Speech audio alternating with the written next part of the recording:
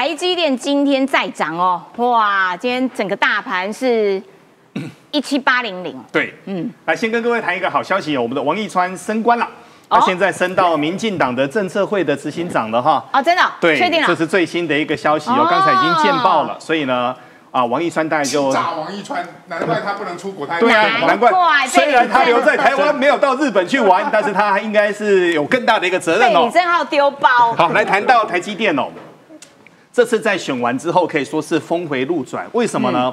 因为选完之后台股就出现了史上第三大的一个卖超，卖了七百八十亿。当时卖了非常多的金融股，卖了非常多的船产股跟国内一部分的石化类股。简单的说，船产跟金融就卖掉了。我那时候在野党多开心啊，见猎欣喜。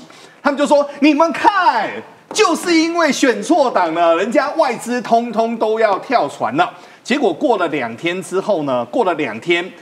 整个外资又出现了史上第三大的一个买超，买了八百零一亿，而且非常的技术哦，七百八对八百零一，就是说我卖了七百八十亿，我买了八百零一亿回来。阿庆，你知道他买什么吗？买什么？单单台积电买了十一万张，那台积电很贵嘛，对，所以单单台积电一档就买了三百多亿了。然后沿路过来的话，他们就说什么呢？说台积电，因为再来陆陆续续这两天投行的很多的草稿我都看到了哈，台积电是今年有可能是第二次。因为台积电在二零二二年的时候是史上台湾第一家公司挑战破兆获利，听好，不是营收哦，是获利的公司，在二零二二年已经挑战成功了。今年目前因为美元部位，营收有希望成长百分之二十一到百分之二十五，那因为美元会波动嘛，哈，所以今年它还是有机会来做整个挑战破兆，这个是第一件事情。没有想到就在这个关键的时针点，黄仁勋董事长又来台湾了，对对对，他又去吃夜市，对。然后他来到台湾之后，因为黄仁勋董事长非常爱逛夜市哦，因为跟那些摊贩们也都成为了很好的一个朋友。他每次都带他太太，其实他太太都在旁边哦。其实他他有时候儿子也在旁边啊，都很低调。其实他们是很有钱又很低调哦。那目前辉达的话，他们的市值大概是一兆四千亿美元哦。所以目前黄仁勋董事长是华人当中的赵元郎，他的身价一个人就破破兆的一个台币了。但简单的说，很多人都说现在把 AI 打开，里面就是满满的一个台湾味。好，现在呢，整个蓝营又不开心了。他就说：“怎么这么奇怪？”那个话很酸哦。为什么呢？因为上个礼拜有一个消息是，三奈米厂有在开第三座，要在高雄，对不对？想不到今天噔噔又发生一件事情哦。这个一奈米厂。现在跟各位谈哦，它最简单就需要大概一啊，大概需要一百公顷左右。一百公顷。那目前以台湾来说，有这么大的地的话，大概只剩两块。一块的话就是在台中之前征收高尔夫球场那一块。嗯。那另外一块的话就在嘉义，因为嘉义他们现在有一块地征收回来之后，目前在整地当中哦。那所以呢，现在来看的话，够大。够方正，而且能够够一纳米来用的，是卢现在自己也不要啊，他就说他是拒绝台积电的女人呢，不是吗？现在这个还在拔河当中了，但是据传是一纳米，如果真的有机会落脚在嘉义的时候，目前台积电当然是说不排除任何可能性嘛，但又有人就说了啊，真奇怪啊，怎么都是你们绿营经营的县市，都没有在蓝营经营的县市？但我们这时候再回头去想一件事哦。各位还记得几年前那时候，台积电迫于压力之下，那个时候美国一直在揪嘛，他没办法，他去做设厂。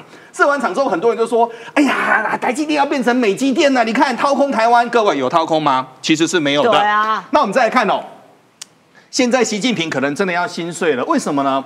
这过去的十年哦，据传中国补助国内一万家公司，据传超过一兆人民币。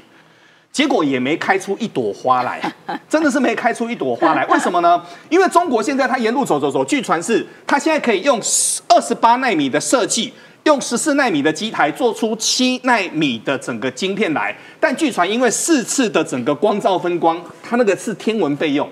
好多台湾的工程师就说：“嘿，波兰按你走，你知道吗？这这感觉像什么？你知道吗？感觉像你用铅笔去做整个神像的雕刻那种感觉，那是很不对的。那目前呢，Intel 的形容好可爱，因因为这个有精密度的问题啦。因为我们有常常去看那个机台哦，那个机台其实真的是很高档的一个机台哦，没错。那么目前的 Intel 的基辛格他就认证了，他就说中国的晶片的制程呢会落后十年左右。嗯，但现在可以确定一件事情哦，现在其实呢各家各家都非常着急。今天早上，我我快速讲了，时间超过一点点。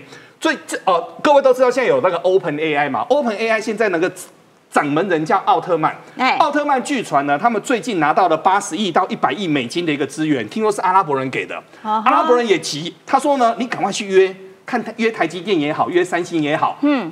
钱我们给，但是厂要开在阿拉伯哦，厂要开在阿拉伯。那当然这还在传闻之中呢，但可以确定一件事情是，过去几年因为我们政府的改革开放，让台积电有一个地方可以让它大伸拳脚，台积电逐渐的开花结果。从过去腾讯是亚洲最大，到这几年台积电都是世界冠军。但我们不得不说一件事情：台积电随着技术往前走之后，让我们台湾一来经济变好，二来我们很多的学生，我们很多的工作同仁有好的一个收入。第三，大家都发现没有台湾飞机不能动，气象不能动，任何认识只要是高科技，台湾就是世界的大脑。没错，感谢敏宽正式的把台湾上架在世界上。